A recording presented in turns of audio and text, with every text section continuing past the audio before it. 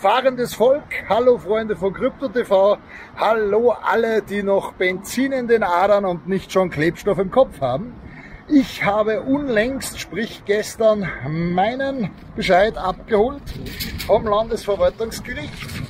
Ich habe aus Gründen des Datenschutzes die Dinge geschwärzt. Hiermit darf festgehalten werden, dass der Zettel sich im Wind bewegt. Hiermit darf festgehalten werden auf äh, ganz, ganz vielen Seiten Papierkram, also so ein dicker Brocken, dass meiner Beschwerde stattgegeben wurde und die politische Verfolgung meines Fahrzeugs hiermit beendet ist.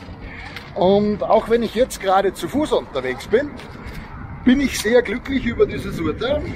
Schließlich ist es ja doch so, dass wir uns in harten Zeiten befinden und äh, in Zeiten, in denen bereits alles verboten wurde, die Freiheit eingeschränkt wurde und dieser Wahnsinn geht ja heiter weiter.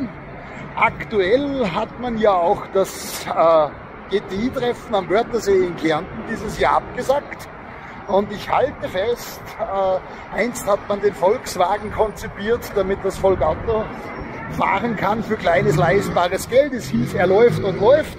Und wie man sieht, hier selbst unsere Exekutive fährt VW.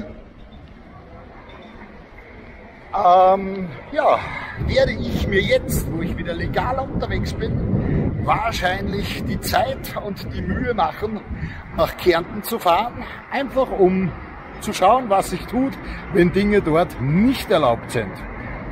Mal gucken und wie gesagt, wir sind jetzt wieder street legal unterwegs. Rock'n'Roll.